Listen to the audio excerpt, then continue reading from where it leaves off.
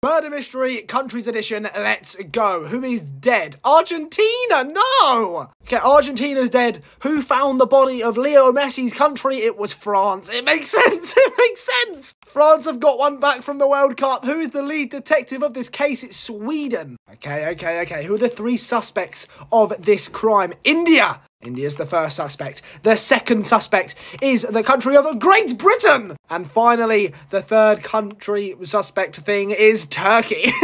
okay, just because they're suspects don't mean they did it. Who was arrested for this crime? It was India, one of the suspects. Okay, now who actually did it? Who actually did the crime? It was France! Oh my god!